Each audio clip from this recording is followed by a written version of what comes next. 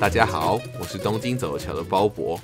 东京都人口将近一千四百万，面积大概是台北市的十倍。第一次在这样规模的城市旅行，应该可以玩个五天四夜不会腻。但如果你已经来东京好几次了，会不会想要在旅途中换个心情，看无敌海景，参访日本国宝城池，到 Outlet 血拼，仰望壮丽的瀑布，泡个温泉，欣赏美丽的红叶？探索深山中的神社，或吃看看当地美食呢？本集影片鲍勃就来介绍从东京出发一两个多小时就可以方便到达的景点，安排个两天一夜游绝对值得。那我们看下去吧。相信大家都有听过伊豆热海这两个地名，这也是东京居民周末很喜欢开车自驾游拜访的地方。自然文化美景非常的丰富，还有世界知名的温泉。虽然从地图上看，距离东京看起来没有很近，但其实从品川搭乘新干线只需要三十分钟就可以到达热海，加上租车到伊豆也是蛮方便的。我们这次影片就来一场精彩的两天一夜游吧。我们到达第一个景点伊豆之国全景公园，大概是上午九点左右，名字叫全景公园，大家就知道景色会很美了吧？那事实上也是。我们从三角搭乘全长一点八公里的缆车。海拔往上上升四百五十二公尺，到了山顶可以全景享受伊豆的美景。虽然拍摄当天是晴天，但很可惜拍摄起来是有雾雾的。否则搭配富士山欣赏伊豆的景色，应该会更有看头。我们在山顶上的商店吃一些东西当早餐吧。鲍勃来访的时候天气很热，点个咖啡双麒麟，边吃边看景，悠闲一下真的很不赖。现在时间大概十点半，我们搭乘缆车下山后，回到停车场开车，大概二十分钟的车程，我们来到修善寺温泉。这里是伊豆半岛历史最古老的温泉，也是日本百名汤之一。这里的景色依山傍水，是夏目漱石等等的文人墨客喜欢拜访的景点，也有很多温泉饭店。这个区也是鲍勃喜欢的日剧。约定的灰姑娘的取景地点，推荐大家可以在那边花个一个小时，沿着河畔散步，经过浪漫的桂桥之后，往竹林小径走过去。虽然人不在京都，但却很有蓝山的气氛。最后再走到有一千多年历史的修禅寺，离开修善寺温泉，现在大概十二点，我们开车约二十五分钟来到了净莲瀑布。这个瀑布是日本瀑布百选之一。花点时间从停车场走二十分钟的自然步道，就可以看到瀑布了。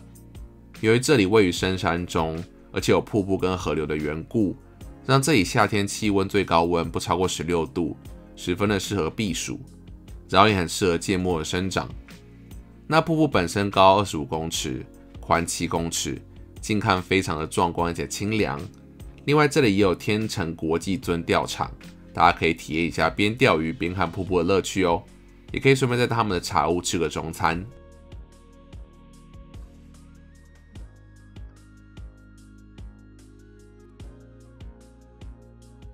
离开瀑布，现在时间大概下午两点。我们这次直接开一个小时左右的车，来到了下田市。下田市位于伊豆的南部，是一个集结温泉、海滩还有历史的小城市。那鲍勃这是着重在他的历史风情。一八五三年，美国黑船来航，造成了江户幕府松绑锁国政策。Perry Road 就是当时美国海军准将马修·培里所走的路。一路上有许多具有历史风情的建筑，很适合拍拍照。那这条路上也有很多可爱的咖啡店。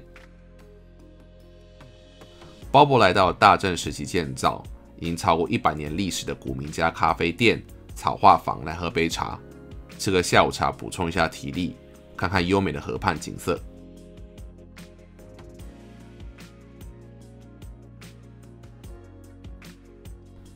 现在时间大概四点半，我们赶天色变暗之前去拜访今天的最后一个景点。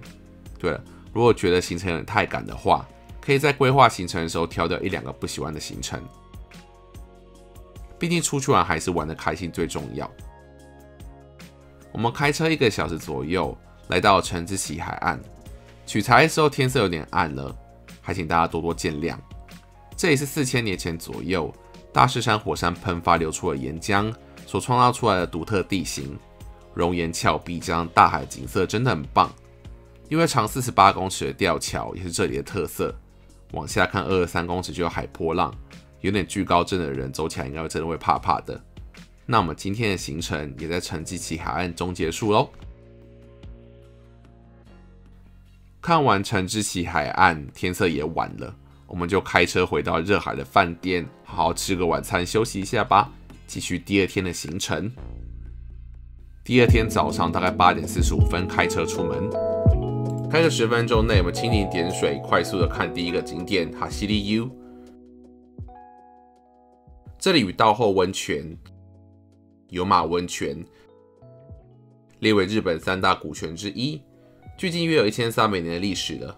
虽然这里没有办法泡汤，但可以看到温泉源头，然后走到一旁的足汤，边泡脚边看海。离开哈西利 U 大概九点半，开车十分钟，我们来到 MOA 美术馆，刚好赶上开馆时间。这里是一个收藏众多历史文物的美术馆，雕刻、书法、日本传统画作应有尽有。美术馆本身是由世界知名建筑事务所新素材研究所操刀设计，特色是充分利用美丽的光照，让作品表现出美感。从空间感十足的室内看出外面可以看到美丽的大海，从室外观赏建筑本身也很棒。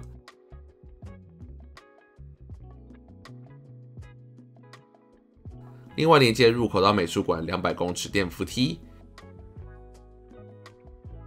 以及电扶梯到底的直径二十公尺万花筒 Project Mapping，也是不可错过的精彩艺术品。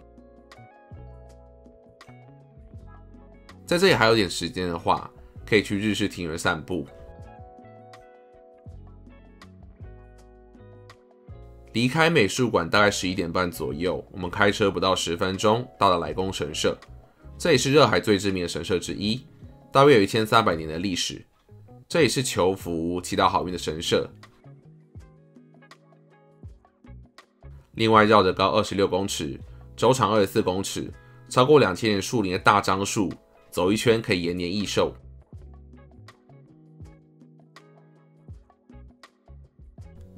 现在时间大概十二点半，中餐时间到喽！开车十五分钟内来到热海的名店。热海布丁食堂，这家不只有卖布丁哦，也有正餐。那正餐也是用布丁的重要食材鸡蛋所做的欧姆蛋。切到这个实在的蛋黄，会不会已经让你开始食指大动了呢？起司欧姆蛋、咖喱起司欧姆蛋、奶油明太子欧姆蛋都赞赞的。当然，甜点布丁也很好吃，看看真的有够实在。然后卖相也很好，适合 IG 打卡。对了，这家店的戚风蛋糕也很不错。难怪放假日永远都是大排长龙。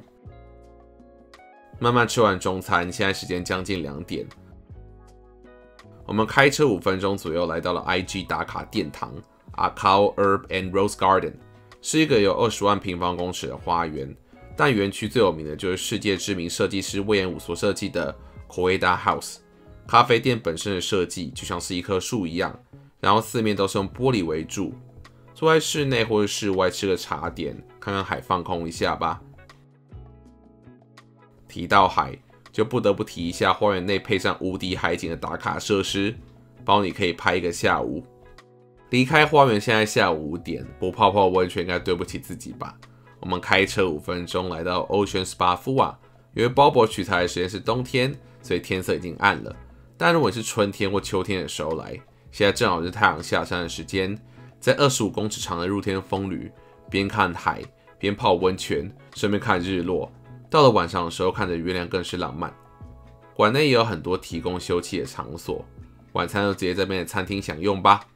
我们精彩的伊豆热海二日游也就这么结束喽。